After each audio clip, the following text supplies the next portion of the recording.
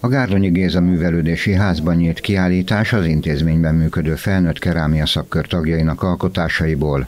A tárlatot Franta Dezső keramikus, a képzőművész csoport vezetője ajánlotta az érdeklődők figyelmébe. Nagyon régóta tanítom őket, több évtizede, így a kezetektől kezdve a mostanáig, ha megnéznénk a munkákat, és egy összehasonlító kiáltás lenne, akkor lehetne igazán látni, hogy mennyit fejlődött ennyi idő alatt az amatőrnek nevezett, de egyik másik munkájában teljesen a, a művészi színvonalat elérő munkáknak a sokassága. Nagyon sokat dolgoznak, nagyon szép minőségben, fogékonyak az újra is, Szilvási Grund Helga büszkeségének adott hangot, hogy a szakkör tagjai megmutathatták munkáik javát a közönségnek, amely megerősítést jelent a ház munkatársainak is, hogy ismét sikerült segíteni egy alkotói közösséget abban, hogy beteljesítse álmait. Nagyon sok szakkör működik nálunk itt a Gárdonyi Géza Művelődési Házba, és igyekszünk nekik mindig olyan lehetőséget biztosítani, ahol megmutathatják a nagy közönségnek azt, hogy ők mit tevékenykednek itt a heti alkalmak során.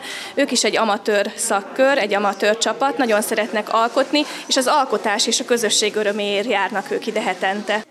A kiemelt érdeklődéssel várt bemutatón a szakkör tagjai Bécsi Éva, Bihari Józsefné, Domjánné Cetli Margit, Habi Ildikó, Jónás Csaba, Nagy Károlyné, Németné Szele Magdolna által készített használati tárgyakat és műalkotásokat tekinthettek meg a kézműves alkotások barátai.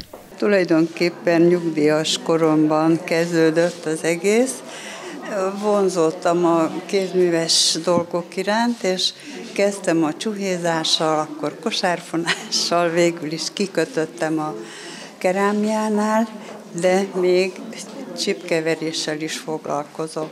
A szakkör tagjai egyébként különböző stílusokban hódolnak szenvedélyüknek, egy valami azonban közös bennük, az alázat, a megmunkált anyag iránt, illetve a barátság, amely összeköti minnyájukat az alkotói folyamat minden pillanatában.